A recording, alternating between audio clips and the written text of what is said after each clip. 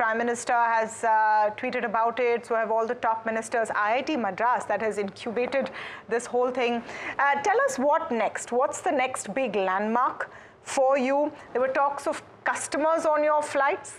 Could that happen at some point? Give us a sense of what the next few milestones are from your point of view.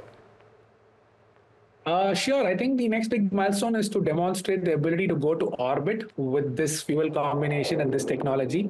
Uh, we have actually proven all of the technologies that it takes to go to orbit at a smaller scale in this flight. So it's a it's a it's in that way a huge technology demonstrator for us the avionics the software the algorithms for you know autopilot all of these things are validated of course along with the engine and the launch pad so the next step is orbital launch and beyond that, of course, as uh, you rightly said, getting customers on board.